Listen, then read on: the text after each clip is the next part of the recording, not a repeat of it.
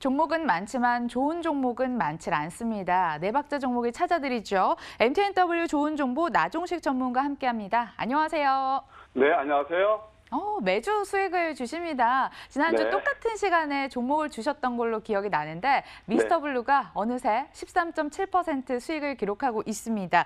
목표가 만원 주셨는데 코앞까지 왔습니다. 어, 네. 수익 실현을 음, 미리서 할까요? 아니면 더 가져갈까요? 네, 뭐 이 종목은 그때 제가 이제 어, 여러분께 어, 황맥기가 포착한 맥점, 그 다음에 또 어, 코로나 그 반사이까지 기대된다라고 또 말씀드리면서 추천했던 종목입니다. 예, 뭐 거의 쉼없이 한 13% 달려왔는데요. 어, 지금 앵커님께서 질문하신 그 답을 드린다면 더 추가 상승 여력이 있다. 예, 이렇게 말씀드리고 싶습니다. 한번 차트를 보시면서 어, 제가 설명을 드리면 지난번 바닥을 완성하고 다시 한번 상승이 이루어지고 있는데요. 이제 워낙 급하게 상승하다 보니까 오늘은 좀 이제 음선이 나왔어요. 당연히 양, 음, 양양에서 음선이 나왔는데 앞으로 또 추가 상승의 여력이 있고 주봉을 보시게 되면 이것은 아직도 제대로 시작도 안 했습니다. 따라서 조금 긴 안모로 보면은 5일선 공략은 여전히 유효하다 볼 수 있고요. 한 만 원까지는 어, 무리 없이 상승할 수 있지 않을까 그렇게 보고 있습니다. 작정하고 종목을 찾아주시는 것 같은 요즘입니다. 자, 오늘은 과연 어떤 종목을 들고 오셨을까요? 아, 함께 만나보도록 하겠습니다. 네 박자 종목 두산솔루스를 들고 오셨습니다. 지난해 10월 두산에서 분할한 종목이죠. 그만큼 자생력이 있다는 말일 것 같은데 전기차 섹터의 숨은 진주라고 하셨습니다. 어떤 사업을 하고 있을까요? 네, 이 회사는 뭐 두산 그룹 쪽에서 진짜 알토란 회사라고 볼 수가 있습니다. 뭐 두산 인프로, 고아, 중공업, 건설이 있지만 이런 회사들은 대부분의 구경제주고요.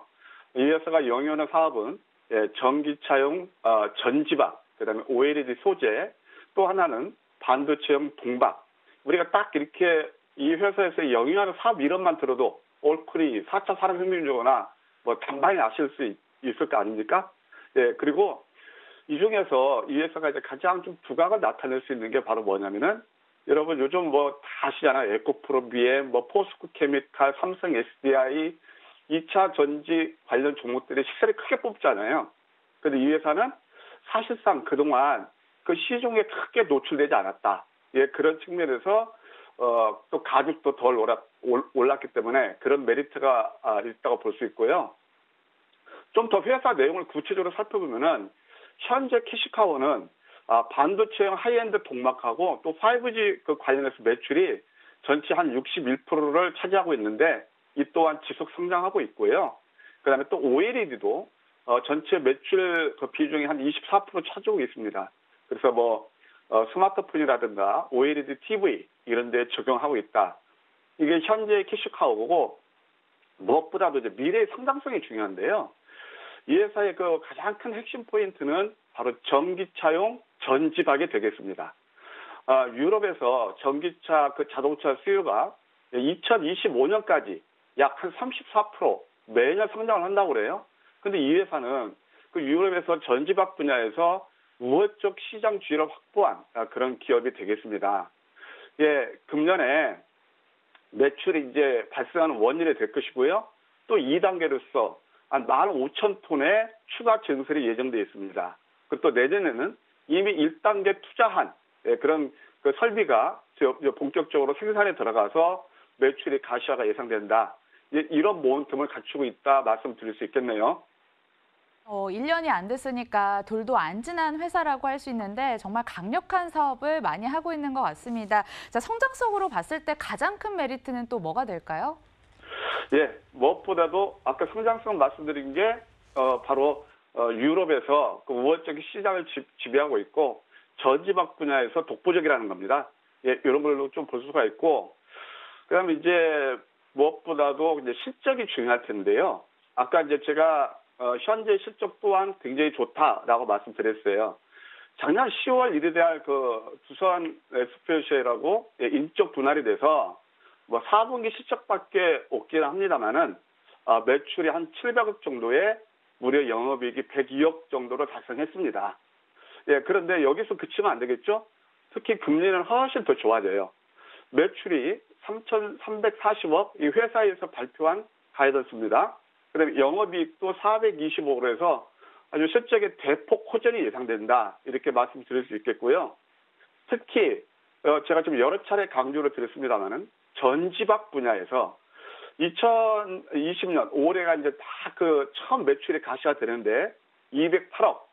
그다음에 2년 후, 아 3년 후 2023년에는 아, 3,920억.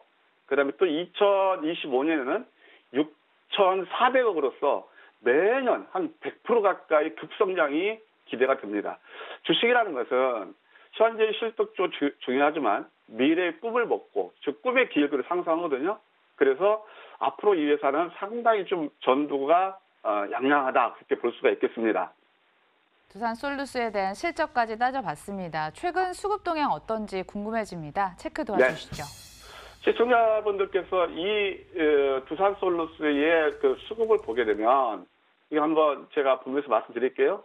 최근에 이제 기관들이 계속 물량이 나왔어요. 또 외국인도 일부 물량이 나오고 예, 나오면서 야 이거 무엇도 외국인 기관들 양 매도가 나오면서 좀안 좋은 거 아니야? 나는 근데 저는 이것을 반대로 생각합니다. 이미 요즘 보게 되면 주가가 많이 오른 종목들은 오히려 기관 외국인들의 차익 실현 예, 그런 구간이 되고요. 외국인과 기관이 이렇게 물량을 많이 내는데도 불구하고 주가가 견조한 상, 그 흐름을 보이고 있다. 이런 것들 상당히 긍정적으로 볼 수 있습니다. 물론 아직 장 마감은 안 됐지만 오늘 같은 경우는 또 기관들이 현재까지 한 만여 주 정도 매수하고 있다. 예, 그렇게 어, 좀 보기 때문에 수급 문제에서는 크게 부담이 없다. 예, 이렇게 말씀드릴 수가 있겠습니다. 부담 없는 수급 확인해 봤고요. 이제 가격 전략 중요할 것 같습니다. 상단으로 얼마 보시는지 그리고 하단은 어느 정도 지지를 해줘야 되는지 궁금해지네요. 예, 차트를 통해서 가격 제작 제시해 드리도록 하겠습니다. 뭐 삼척종자도 아는 계단식 상승 파동입니다. 이미 이렇게 상승하고 또 한 번 오르고 이게 주가라는 것이 많이 오른 상태에서 가격 조정보다는 기간 조정을 가는 것들이 굉장히 센 종목들이거든요. 이 또한 지금 그렇죠. 그러니까 21선을 훼손하지 않고 계단식 상승파인데 또 한 번 5일하고 21선 변곡점에 와 있습니다. 보통 이런 것, 이런 패턴들은 여기서 쉽게 끝나지가 않거든요. 따라서 지금 2만 8천 원 이하에서는 매수하는 것은 부담이 없고 바로 전고점이 3만 450원이 되겠습니다. 근데 이 3만 450원은 단기적으로 여기서 하면 예의 갖춰서 누를 수가 있어요. 그래서 단기 관점에는 3만 500원 정도 여기서 볼 수 있고 저는 이런 종목은 좀 길게 지금 이제 대세 상승장에서 성장주의 논리 특히나 아까 말씀대로 4차 산업혁명주의 모든 섹터를 아우르는 그런 회사로 봤을 때는 좀 롱텀으로 봐도 되겠다라고 생각이 드는데 주봉을 보면 역시 널널하게 남아 있죠. 예, 따라서 일단 목표가 그 쇼텀 단기로서는 한 3만 500원 정도 제시해 드릴 수 있고 길게 본다면 한 3만 3천 원에서 3만 5천 원 정도 예, 이렇게 볼 수도 있겠습니다. 단 손절은 2만 5천 원 하이시하는 예, 그런 전략을 보내드리고 싶네요. 네 박자가 딱 들어맞는 종목 이야기였습니다. 목표가 3만 5천 원 같은 경우에 설정을 해주셨고 길게 봐도 되는 종목이라고 말씀해 주셨습니다. 손절 가격 2만 5천 원 잘 대응하시길 바라겠습니다. 어, 그리고 이번 주 저녁에 일요일에 또 무료 공개 방송이 있으시다고요. 네, 그렇습니다. 어, 지난, 지난주도 제가 이제 일요일 날 10시에 했고, 이제, 어, 이번 주는 저녁 8시였는데요. 많은 분들이 참여를 해주셔서, 어, 하여튼 뭐, 저도 좋았습니다. 그런데, 아까 좀 전에 이제 알테오전 말씀하셨잖아요. 근데 알테오전은 사실 뭐, 저희도 아주 그 관심을 놓고 포트를 편입해서 아주 숨가쁘게 direct 한 50% 올랐거든요. 이제 시, 장 흐름을 보게 되면, 오늘 이제 보게 되면 또 휴대폰 관련주 오르죠. 정, 어, 2차 전지 올랐죠. 5G 올랐죠. 그럼 저는 다음 주는 바이오 sector가 유망하지 않을까 그렇게 조심스럽게 예상해 봅니다. 그러면 이제 여기서 지금 알테오를 찾기는 어렵겠죠.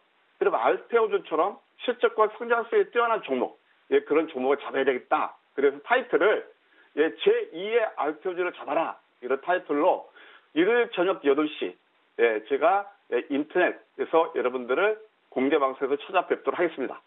아직 2월 들어서 큰 수익 못 보신 분들은 제2의 알테오젠 잡으셔서 수익 보강하시길 바라겠습니다. 지금까지 MTNW 나종식 전문가 함께했습니다. 고맙습니다. 네, 감사합니다.